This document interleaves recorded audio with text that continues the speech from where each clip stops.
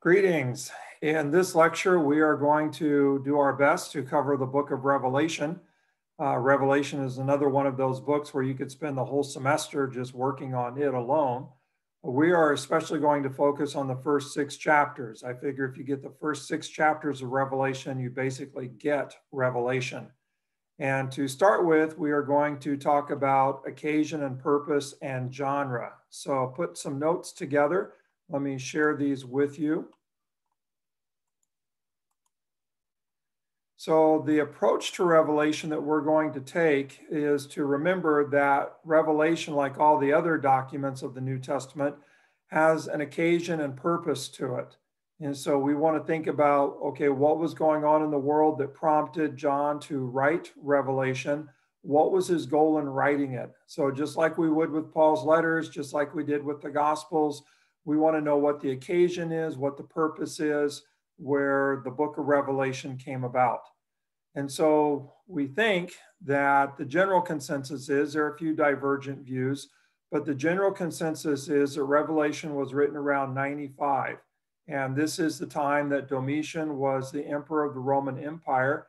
And Domitian demanded that he be worshiped as Lord.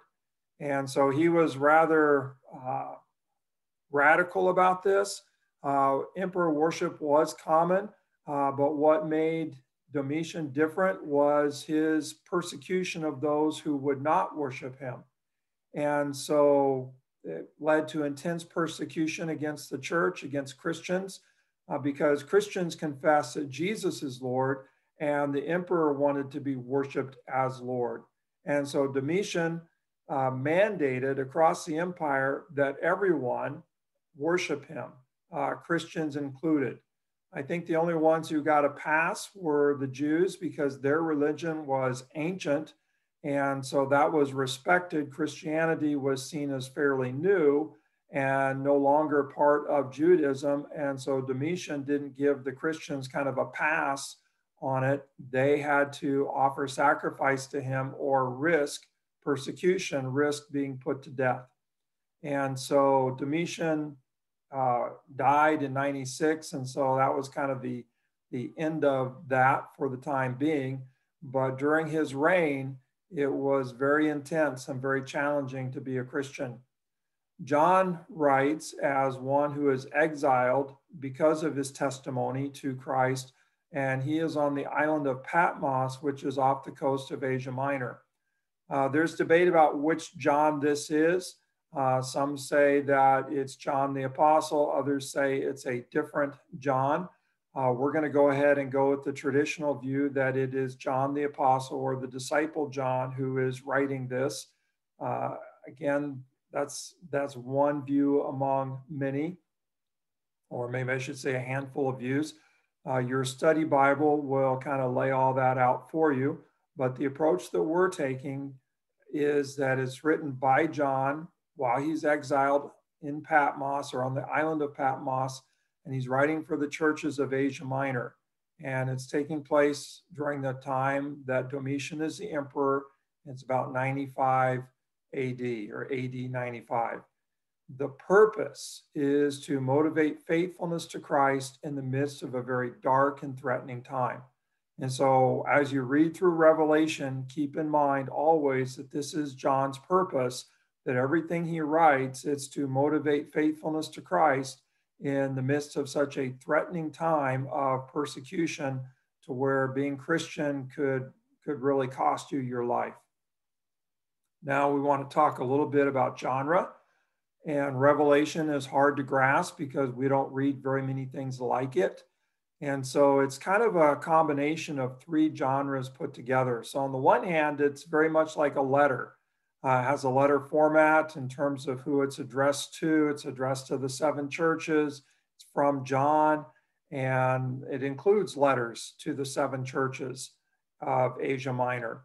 And so it's it's very letter-like, and there is occasion and purpose to it. But it also falls under the genre of prophecy. Uh, prophecy was a spirit-inspired word from God uh, to the churches about the impending future and how they need to live in the present. And so when you think prophecy, don't just think predicting the future. Uh, prophecy has to do with the future, but it's especially about how we are to live in the present because of the future that's coming. And so it's this prophetic word that John receives and, and speaks to the church or writes to the churches. And then the third aspect of genre is it's apocalyptic. And apocalyptic is a genre that is very strange to us, uh, but it's the idea that something is hidden, that's hidden is being revealed. And so Revelation reveals the victory of Jesus that is presently hidden. And so in the midst of the persecution, it looks like, you know, the emperor wins. It looks like Jesus is defeated. The church is going to lose. And yet John reveals that Jesus is the victorious one. And so he reveals this victory that looks hidden. And in revealing the victory, lots of imagery and symbolism is used, kind of out of this world stuff. And normally, this type of literature is produced in times of persecution uh, when things are very, in, very intense. So, we see this kind of literature the second half of the book of Daniel in the Old Testament. We see it in Zechariah a little bit, in Ezekiel a little bit, but probably Daniel, the second half, chapters 7 through 12, is where we see this type of imagery the most, although it shows up a few other places and it's future oriented you know to where history is going the goal of history the end of history that god is bringing about and again in revealing it the goal is to motivate faithfulness in the present. So the purpose of it is not really to map out every little thing that's going to happen centuries later. They feel like they're at the verge of the end of history. And it's it looks very dark, very threatening, like everything's going to come to a close, that goodness is going to lose, God is going to lose, evil is going to prevail.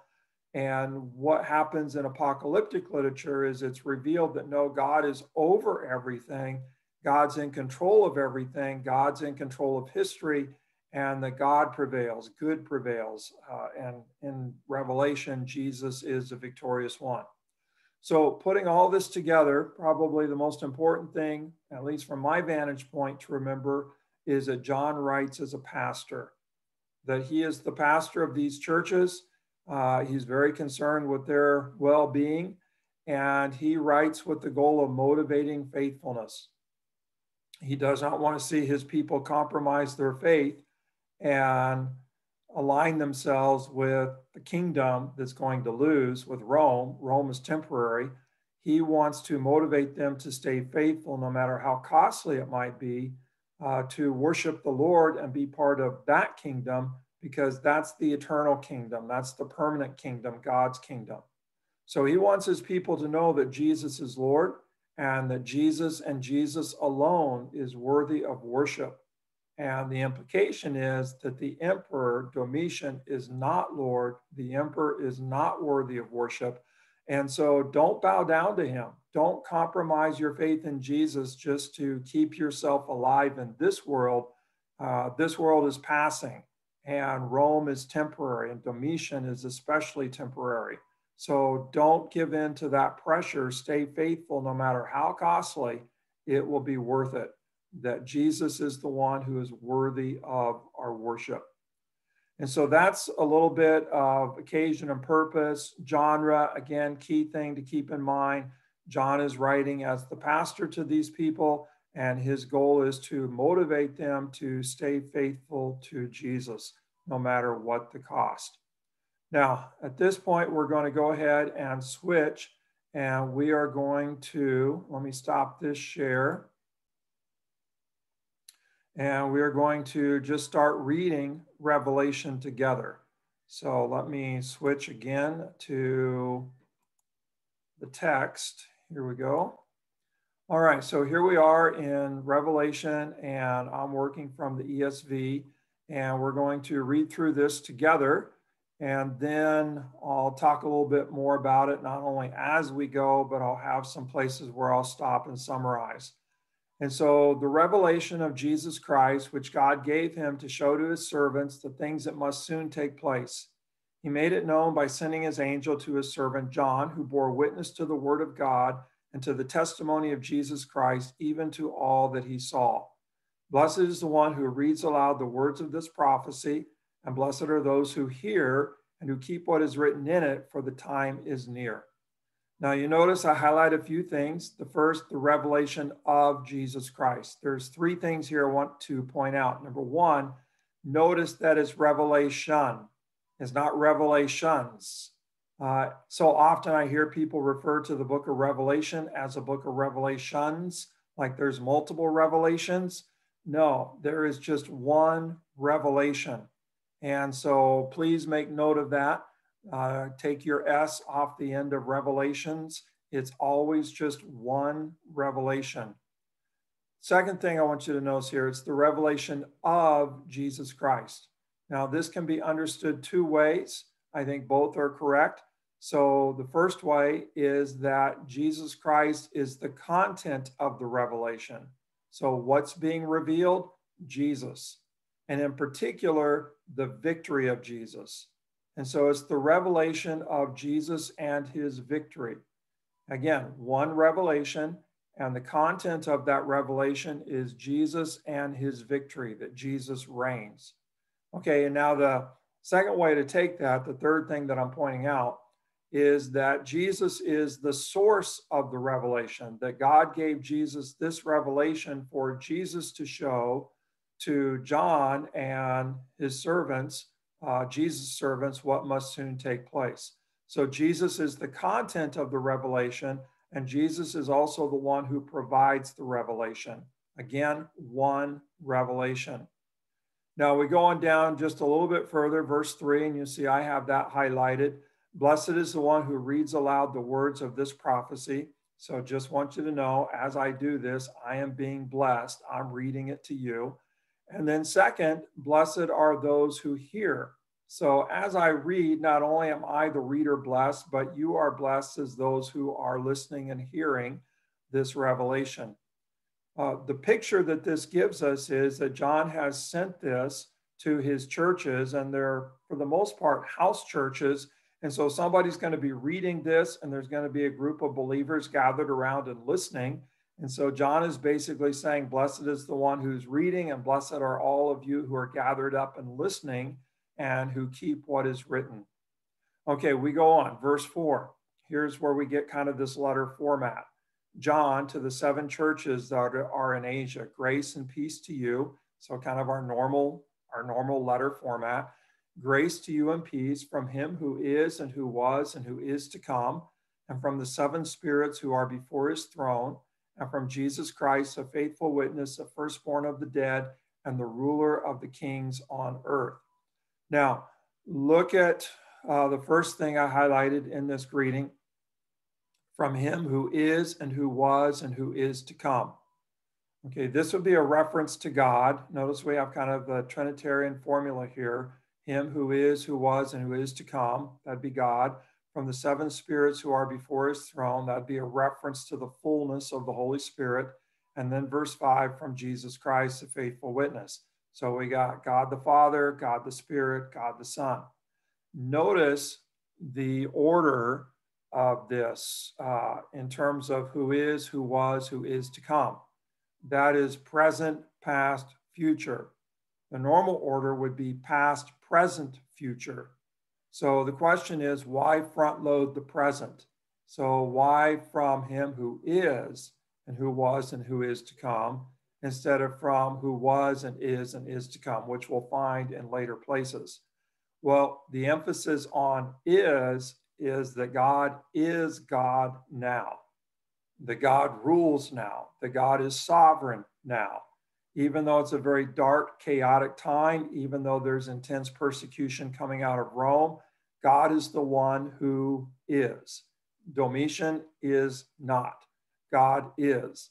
And so by putting the order this way, by kind of front loading the present, it's John's way of emphasizing that God is God even now.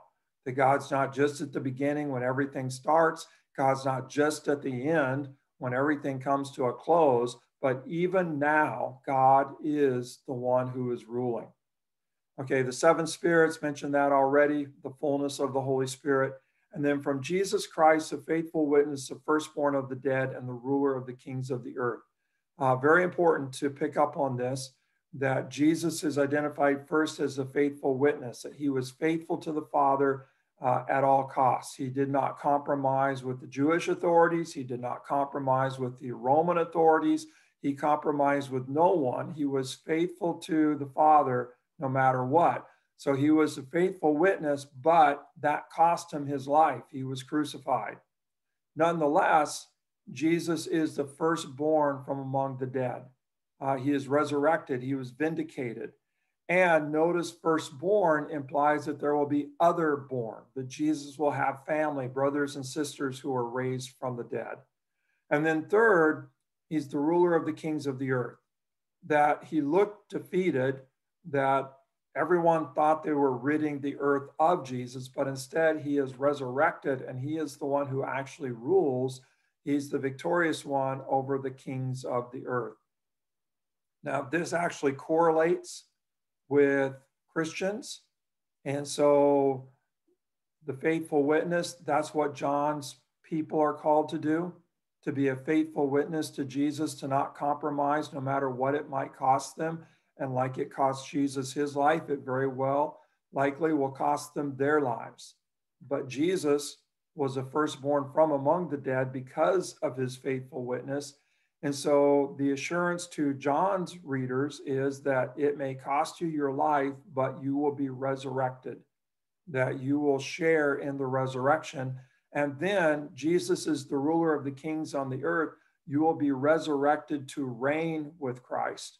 And so you'll actually be victorious, even though, from an earthly perspective, you were a fool for not worshiping the emperor uh, truth will be told, truth will be revealed that you are the victorious one and you will reign with Christ.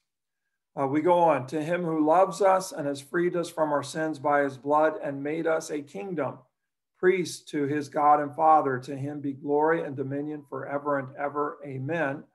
Behold, he is coming with the clouds, and every eye will see him, even those who pierced him, and all tribes of the earth will wail on account of him. Even so, Amen. Now, made us a kingdom, very important to pick up on this language that for John, the believers really are a kingdom within the kingdoms of this world.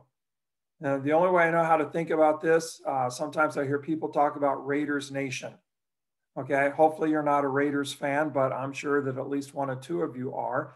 Um, but Raiders Nation, those are Raiders fans, and it doesn't matter what city they're in, it doesn't matter what city the Raiders are in, that they are going to be Raiders fans no matter where the Raiders are and no matter where they are. So they might live in San Diego, National City is full of Raiders fans. Uh, they might live up in the Bay Area. They might be in Los Angeles. They might be in Las Vegas. They might be somewhere on the East Coast or who knows where. Um, but Raiders fans are Raiders Nation uh, they are united around the, around the Raiders no matter what city they live in, whether it's where the Rams play, whether it's where the Niners are, doesn't matter. They are identified as Raiders Nation. And so John wants Christians to kind of recognize that they are that way, that they are Jesus Nation, that it doesn't matter who the emperor is, it doesn't matter who local authorities are, it doesn't matter what part of the Roman Empire they live in, uh, no, they are Jesus' nation, and that Jesus made them a nation, made them a kingdom by his death on the cross and uniting them in his blood and the forgiveness that they know and the mission that they have. And so, so they are Jesus' nation. And when it speaks in verse 7 about Jesus coming, and every eye will see him, and those who, including all those who pierced him, rejected him, all the tribes of the earth will wail on account of him. This word wail, it's the idea of gasping, like they just can't believe it. Like we thought he was dead. We thought we didn't need to worry about him. And now they see him coming. Now they see he, he's alive. Now they see he is victorious. And it's just this gasp that we were wrong. And woe unto us, what are we going to do? So, so you begin to see kind of how John is already setting this up. Uh, that they're a kingdom that belongs to Jesus in the midst of the Roman Empire. And the challenge is to live loyal to Jesus. He is the worthy one. Uh, he is the one who truly rules and not the emperor. So don't compromise and worship the emperor. Uh, verse 8 I am the Alpha and the Omega, says the Lord God, who is and who was and who is to come, the Almighty. I, John, your brother and partner in the tribulation and the kingdom and the patient endurance that are ours in Jesus, was on the island called Patmos on account of the word of God and the testimony of Jesus. I was in the Spirit on the Lord's day, and I heard behind me a loud voice like a trumpet saying, Write what you see in a book and send it to the seven churches to Ephesus and Smyrna, to Pergamum and to Thyatira, and to Sardis and to Philadelphia and to Laodicea. These are all churches located in Asia Minor. Verse 12 Then I turned to see the voice that was speaking to me. And on turning, I saw seven golden lampstands, and in the midst of the lampstands, one like a son of man, clothed with a long robe and with a golden sash around his chest. The hairs of his head were white, like white wool, like snow. His eyes were like a flame of fire. His feet were like burnished bronze, refined in a furnace, and his voice was like the roar of many waters. In his right hand, he held seven stars. From his mouth came a sharp two edged sword, and his face was like the sun shining in full strength. When I saw him, I fell at his feet as though dead. But he laid his right hand on me, saying, Fear not, I am the first and the last and the living one. I died, and behold, I am alive forevermore, and I have the keys of death and Hades. Write therefore the things that you have seen, those that are and those that are to take place after this as for the mystery of the seven stars that you saw in my right hand and the seven golden lampstands, the seven stars are the angels of the seven churches, and the seven lampstands are the seven churches. Now, there's a lot of symbolism in here, and I want us to walk through it uh, kind of quick. Uh, most of this symbolism comes from the Old Testament, a lot of it from the book of Daniel. But the golden lampstands, as Jesus identifies, him, uh, makes known, the seven lampstands are the seven churches. And so you have a world full of darkness, but everywhere there's a church, that church is like a lampstand in the midst of the darkness. And then standing in the midst of the lampstands, John sees one like a son of man. That's Jesus. So Jesus is standing in the midst of his seven churches, in the midst of this dark world in which they're facing extreme persecution. So Jesus is in their midst. How does Jesus appear? Well, he's clothed with a long robe with a gold sash around his chest. And so that would be royal and priestly garb. And so Jesus is the king. Jesus is also priestly. Uh, the hairs of his head were white like wool or like snow. Um, that would symbolize, kind of, in one sense, old age, that Jesus has been around forever, eternity and also wisdom. That Jesus is the one who rules with true wisdom. Uh, his eyes were like a flame of fire. And so this would represent Jesus' ability to kind of see through all the deceit and that he sees exactly what's going on and he brings justice with these eyes of fire. Okay. And he can look through, stare down anybody and know what's right and what's wrong. His feet were like burnished bronze refined in a furnace. Okay, feet of bronze. This is in contrast to um, a dream in Daniel chapter, oh, I want to say it's chapter two, that Nebuchadnezzar had that Daniel interprets Nebuchadnezzar.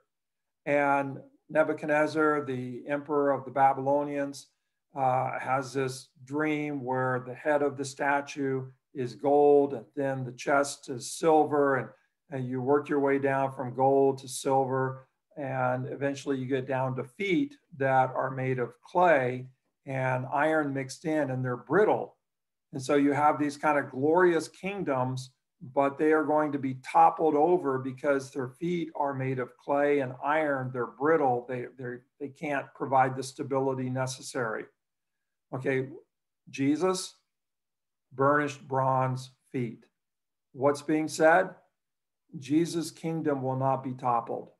that his throne is permanent, that there is no way you're going to topple Jesus. Uh, he is the everlasting king. So his feet were like burnished bronze refined in a furnace. His voice was like the roar of many waters, comparable to God's voice and the power that's in the rushing waters. His right hand, in his right hand, he held the seven stars. Now, this kind of goes a couple of ways. Seven stars in ancient times, the heavenly bodies or stars were worshiped, uh, astrology. Okay, but Jesus has them in his hands or has them in his right hand. And so, no power that Jesus has control of the heavenly bodies, of the stars. And so you don't need to worry about worshiping stars and planets. Jesus has them all under control. So in his right hand, he held seven stars, and from his mouth came a sharp two edged sword. Uh, the two edged sword would represent his word and his testimony. And so the word of God is regarded as a sword. It's through the word that Christians are victorious. But it's also a reference, I think, to his testimony, which we've seen men- mentioned already, that you are victorious. Your weapon is your word, that when you speak the truth, when you confess Christ as Lord, then you are going to be victorious uh, rather than cave in. And then his face was like the sun shining in full strength, just glorious. Okay. Oh, and the other thing that the seven stars represent would be the seven angels of the seven churches. And so each church kind of has an angel watching over it, and Jesus communicates through that angel to the churches, which we'll see next. Okay, so let me go ahead and and shift screens again here to a screen that summarizes. So just bear with me here. We'll stop this share and we will go to this share. No, not that share.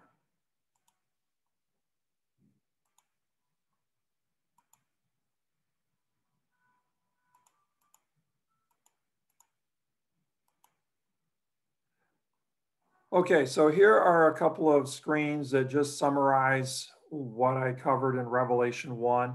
So notice it's the revelation of Jesus Christ. There is one revelation, not revelations, plural, that the revelation content is Jesus and his victory. And then the source of the revelation is Jesus. Jesus is the giver of the revelation. So there's one revelation, the revelation, the content of the revelation is Jesus and his victory, and the source of the revelation is also Jesus. Uh, mentioned from him who is and who was and who is to come. This is a reference to God the Father, and to note the order that the emphasis is on the present, the one who is. The God is God now, even in this time of chaos and persecution. Also highlighted that Jesus is the faithful witness. Even though this cost Jesus his life, he was faithful. He refused to compromise with the uh, worldly authorities, regardless of who they were. That Jesus is the firstborn from among the dead. Uh, God vindicated him and raised him. And notice, firstborn. So Jesus will have family from among the dead as well. And then Jesus is the ruler of the kings of the earth, that he's the victorious one that he looked defeated, but God raised him and God established the kingdom of Jesus. So Jesus is the one who truly rules. Made us a kingdom, that we are Jesus' nation amidst the kingdoms of this earth, and that Jesus is coming and all the tribes of the earth will wail or gasp at his coming. Uh, they will realize how wrong they were about Jesus. And then we looked at the vision of Jesus we saw the symbolism, the seven lampstands equals the seven churches, and Jesus is standing in the midst of them in this dark world. Uh, Jesus holds the stars in his hands. Jesus is superior uh, to all of those heavenly bodies, and Jesus is also superior to the angels. They do his bidding. Uh, Jesus has a gold sash around him in this robe, royalty, um, probably also priestly, I should add, but Jesus is the king. Uh, white hair would symbolize age and wisdom, kind of eternity and wisdom. Flaming eyes, he sees through lies, he brings justice. His feet are like burnished bronze, so he has stability. He cannot be toppled. His voice is like roaring waters, powerful, God's voice. A two edged sword from his mouth, his testimony, he was faithful, and the word of God. And then the shining face is the glory of God, and the seven stars are the seven angels of the seven churches. Okay, so so that's kind of chapter one. Now we're going to move into chapters two and three. In chapters two and three, we get the letters to the seven churches.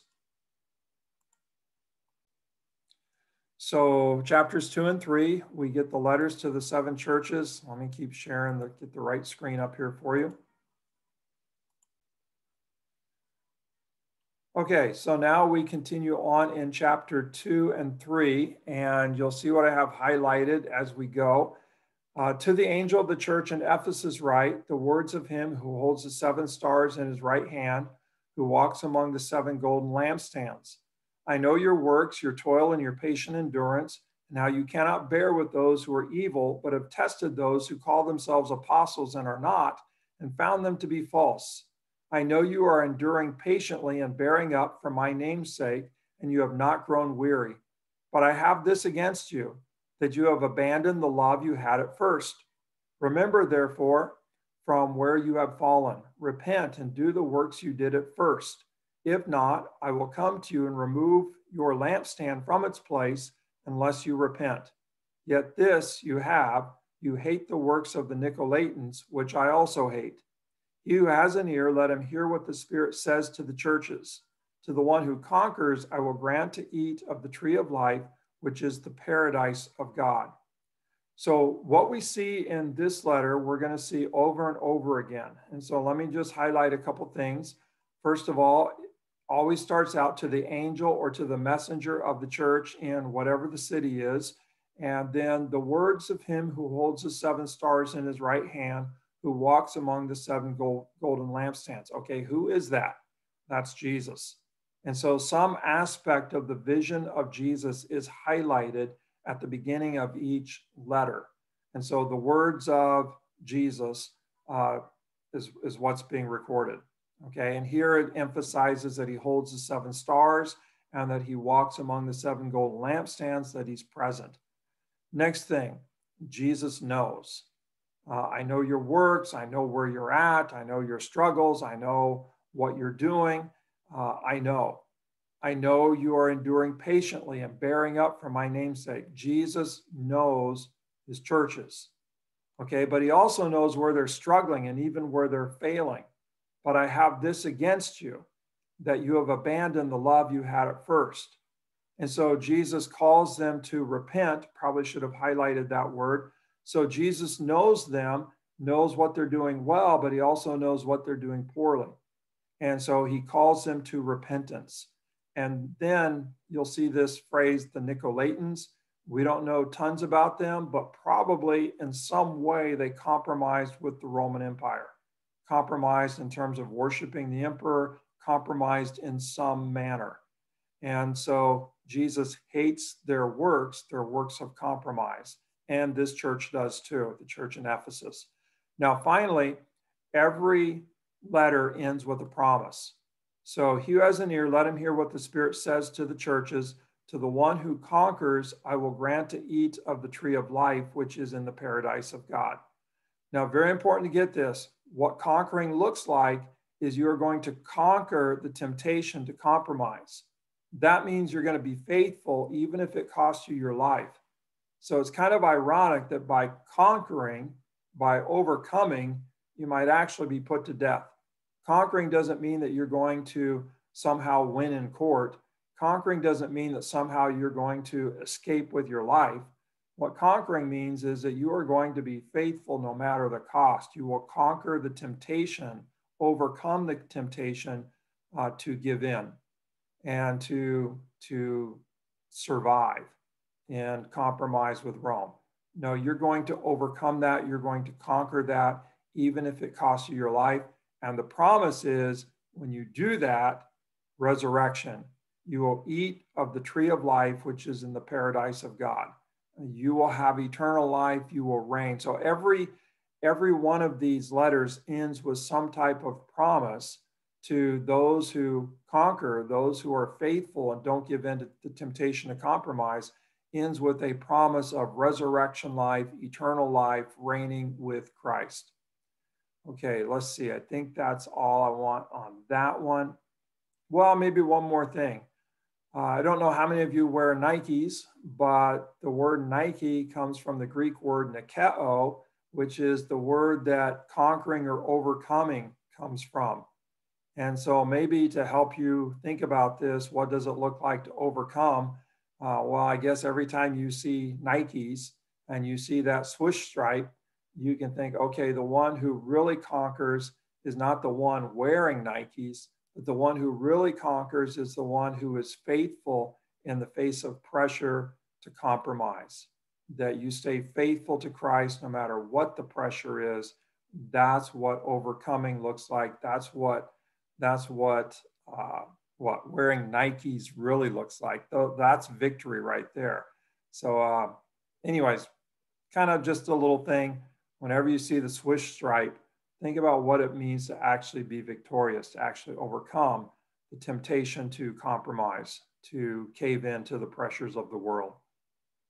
Okay, verse 8, second letter. Uh, and to the angel of the church in Smyrna, write the words of the first and the last who died and came to life. I know your tribulation and your poverty. There's that I know again. But you are rich, and the slander of those who say that they are Jews and are not, but are a synagogue of Satan. Okay, a synagogue of Satan uh, means that they're a place where they have com- compromised with the emperor, that Domitian is kind of identified here as Satan.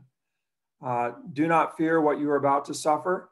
Behold, the devil is about to throw some of you into prison that you may be tested, and for 10 days you will have tribulation for a span. Be faithful unto death, and I will give you the crown of life. He who has an ear, let him hear what the Spirit says to the churches. The one who conquers, that's the one who is faithful unto death, will not be hurt by the second death, because he will receive the crown of life. Uh, next letter. And to the angel of the church in Pergamum, write the words of him who has the sharp two edged sword.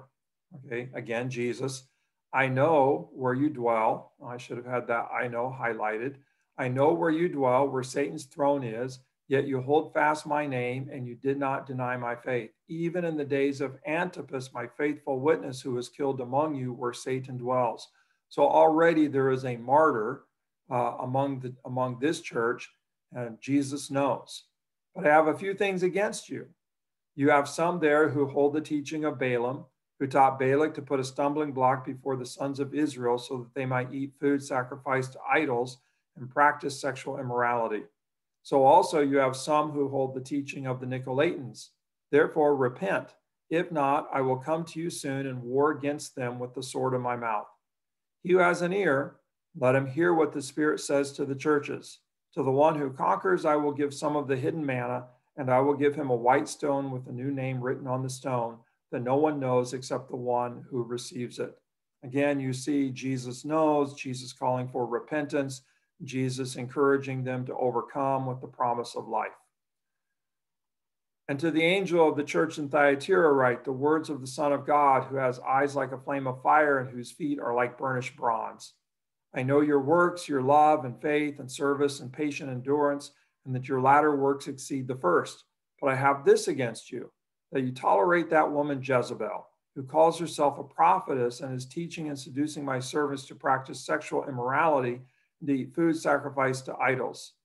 Now, the sexual immorality that is uh, talked about here, mentioned here, is probably not literally sexual immorality, although I guess it could be, but it probably is, especially in terms of, uh, of compromising with Rome and worshiping the emperor.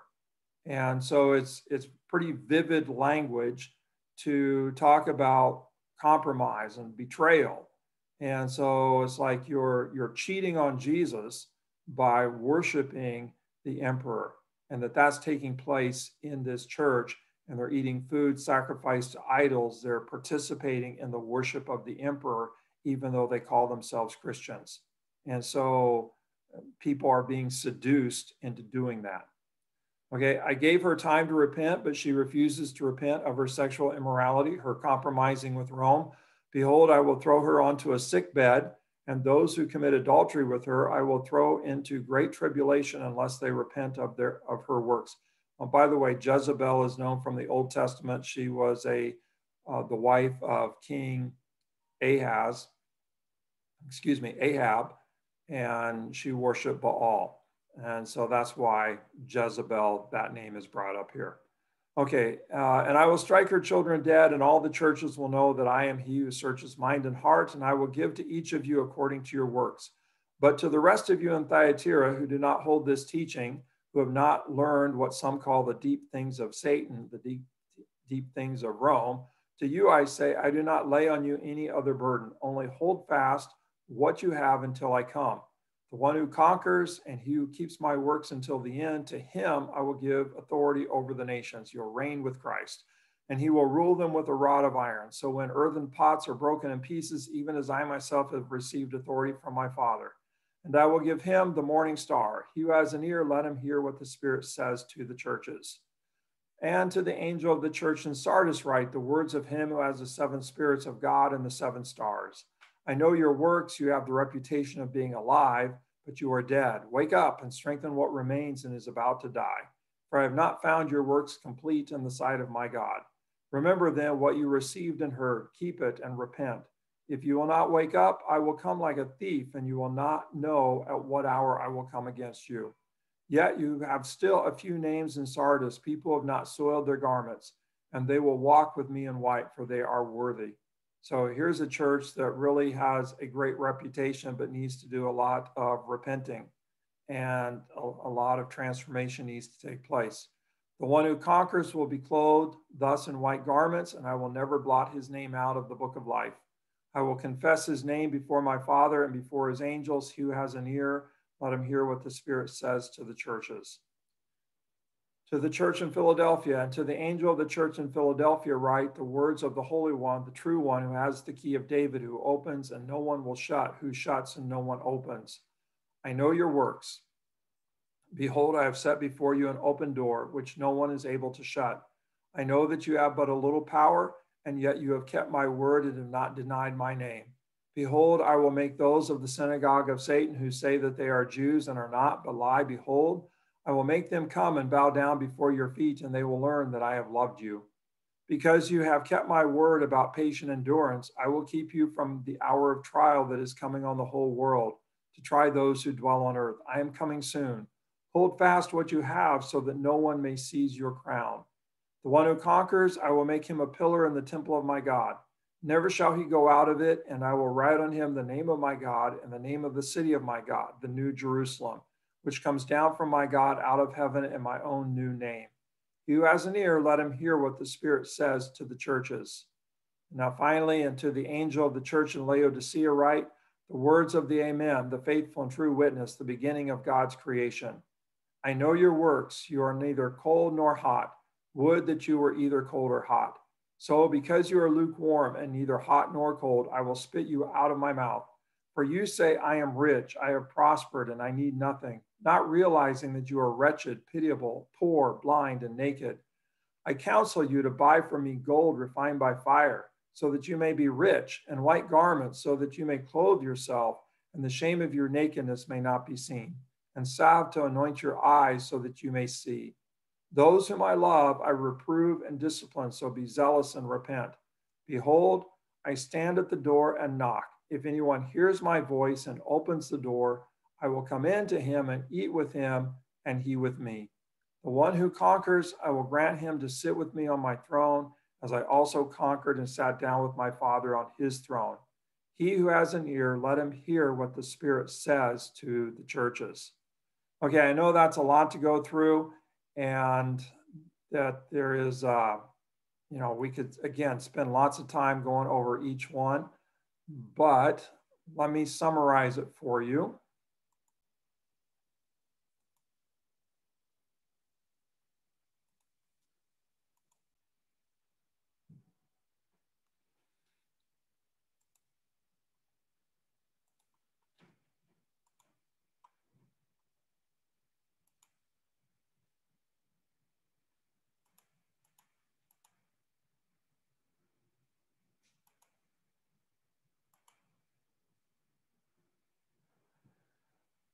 So here we have the basic pattern of the letters to the seven churches. To the angel of the church, write the words of Jesus. Uh, Jesus says, I know where you are, what you're up against. I know how you're doing. I know the changes that you need to make. And he calls some of them to repent.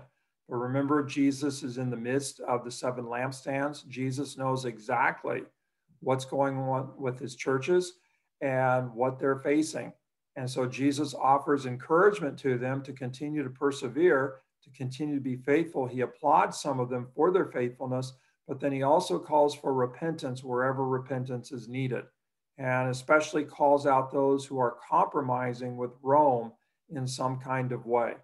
He knows the pressure to compromise, but he's not going to accept compromise. And so he calls for them to repent and to worship him completely, to be faithful. And then the promise to the one who is victorious, there is the promise of resurrection, the promise of reigning with Christ.